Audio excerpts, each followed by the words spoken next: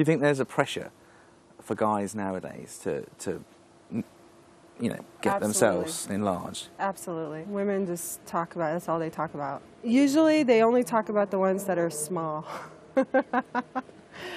I went out with this one guy and um, he was really small and that's all I could talk about. I mean, he was a really great guy and good looking and I just said I just can't marry the guy. I just can't do it. I just I'd probably cheat on him and so I just had to break up with him. How small is small? Oh, that guy was really small. He was about uh, probably four or five inches. It was really small. Yeah.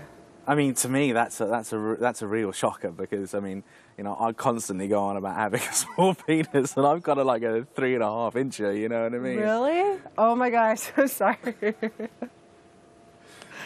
Are you going to get the surgery done? It's